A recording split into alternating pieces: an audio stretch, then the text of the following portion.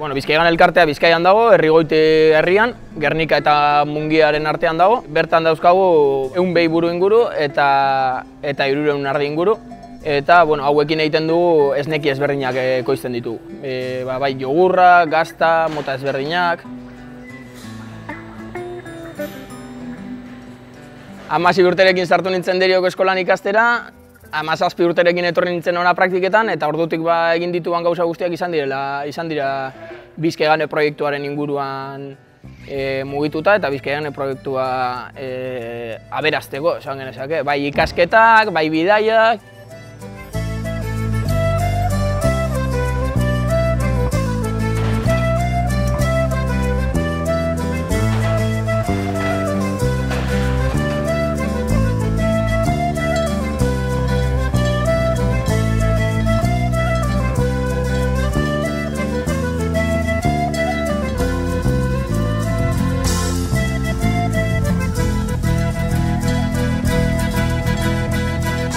proiektu honek badaramatza berrogoi urte inguru martxan, eta ba, hartu zuten autua zen e, modu kooperatiboan lan egitea. Lantalde bat osatzea, eta lantalde horretan ez egotea langile eta eta jaberik, baizik eta danak izatea lanaren parte eta proiektuaren parte. Eta, ba, bueno, orain meldu da momentuan, non hasieran e, zeunden hoiek, e, ja, ba, bueno, jubilatzeko ordua iritsi zaien, eta ba, guk hain proiektu interesgarria ikusita nahi genuen proiektu oneri jarraikortasun bat eman.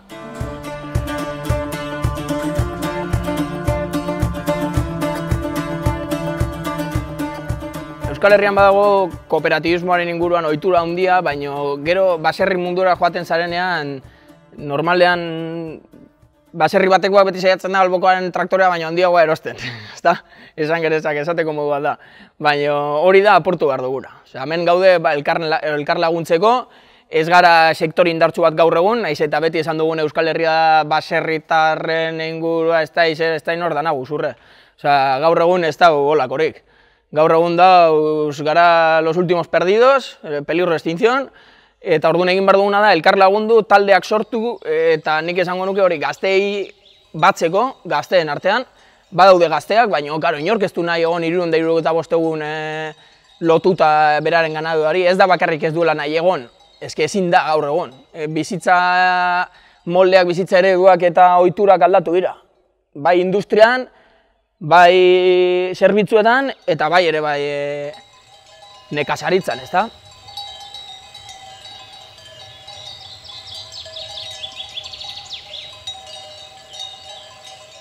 lan lotu bat dela argi dago. Asuntoa da ordu horiek nola banatu. Edo lotura horiek nola banatu, ba inorrez egoteko hain lotuta, danok eukitzeko lotura txiki bat. Hori da ere bai, hamar pertsona izatearen, erabakia, ba, gaur egun hamar pertsonekin, lehen egiten genituen egunean amabi ordu lan, eta orain egiten ditugu ba, ba sortzi.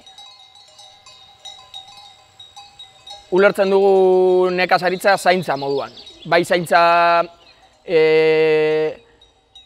konsumidoreari edo produktua jango duena zainduz, hau da, produktu osasuntzu bat eta gozo bat eginez, bai, guk produktore moduan e, lan egiterako orduan nola ingo dugun lan eta ze baldintzetan hori ere zainduz, eta bai ere guk ingurumenean izango dugun e, eragina zainduz.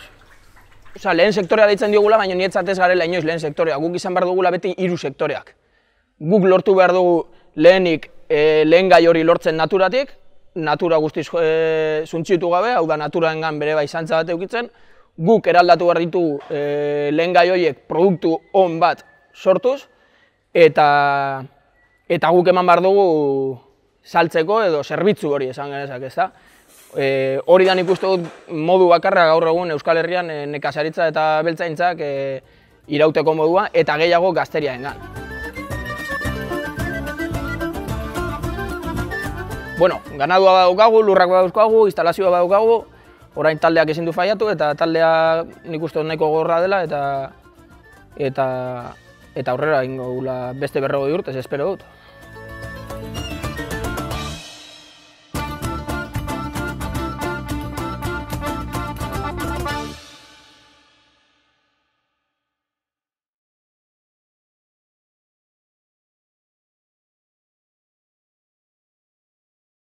Txikitik eragiten.